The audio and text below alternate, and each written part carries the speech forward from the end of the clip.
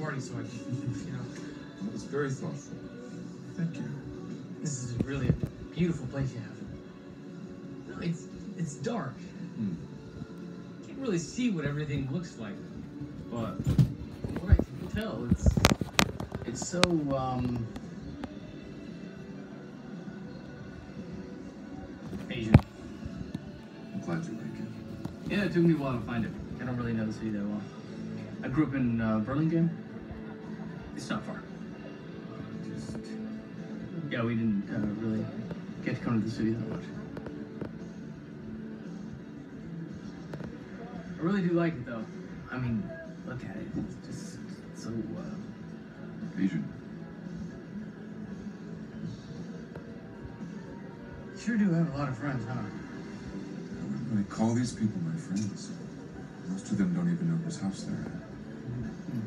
Except for Ken over there. Ken knows exactly where he is.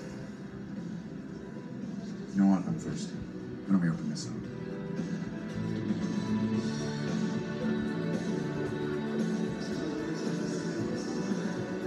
Whereabouts do you live now? Or are you still in Burlingame? Oh no, I got out of there a while. Yeah, I'm in Los Altos now. with A bunch of college buddies. They're really jealous that I'm working for you. I was uh, telling them about how the office is on the What do you do for fun?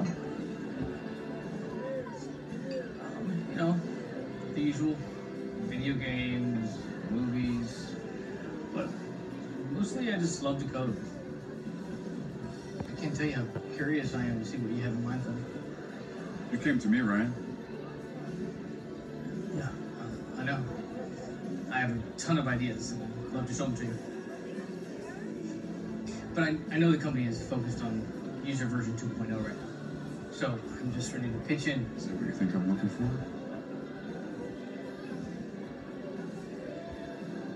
Ryan, someone just came in who I really need to speak to. Hey, it's a party. Trying to have fun.